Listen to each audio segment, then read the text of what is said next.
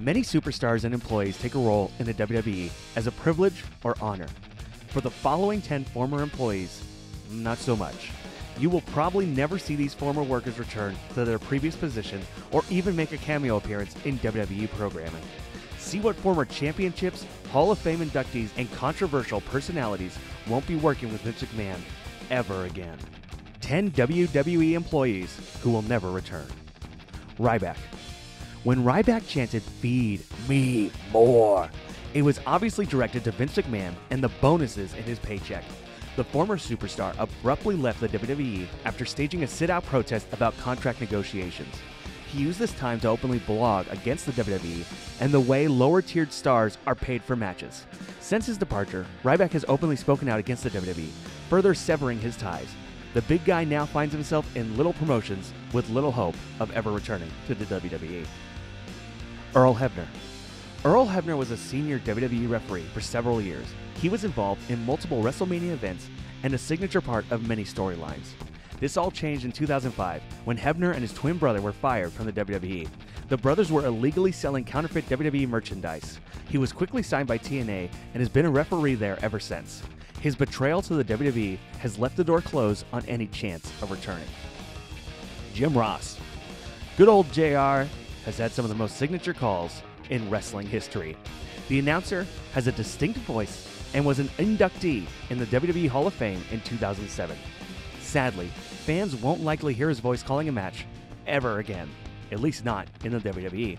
Ross has used blogs and podcasts to speak out against the company, and he hasn't appeared in the WWE since 2014 when he lost control of things at the WWE 2K14 press conference. Colt Cabana. It may be hard to remember Colt Cabana's brief time in the WWE as Scotty Goldman. The indie darling did not last long in the WWE, but he certainly hasn't done himself any favors for a chance in ever returning. While his good pal CM Punk has a slim chance to return in the distant future, Cabana's constant bashing of the WWE and involvement with the lawsuit against the company will always prevent him from getting another shot.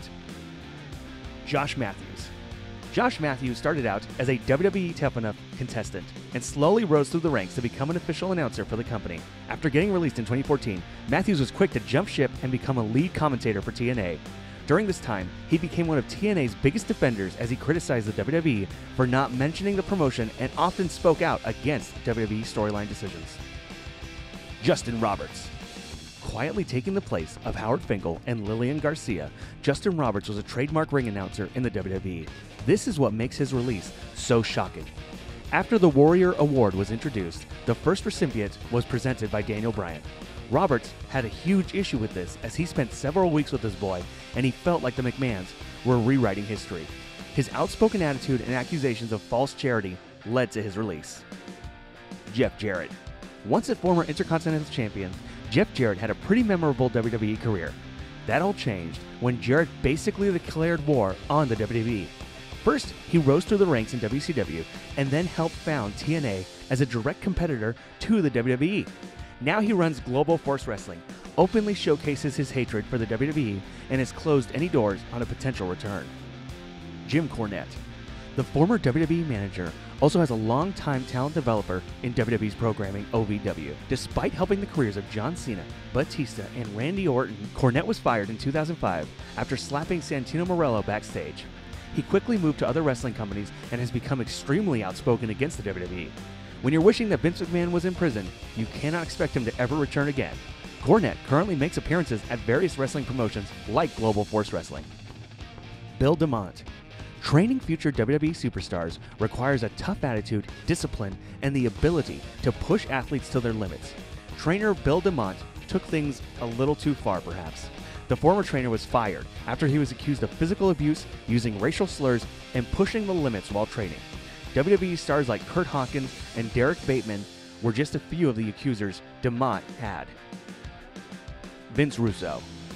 As the Attitude Era was taking over in the late 1990s, Vince Russo was displaying a lot of attitude backstage. The go hungry head writer of WWE Raw was constantly at odds with Vince McMahon, and the two parted ways as Russo joined and ultimately led to the downfall of WCW. Russo tried to return to the WWE in 2002, but was quickly fired.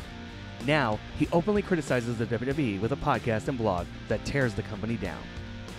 there you have it. Do you wish any of these people would return to the WWE? Who else would you add to the list? Let us know in the comment section below. Don't forget to like this video, share it, and subscribe to the Sportster on YouTube.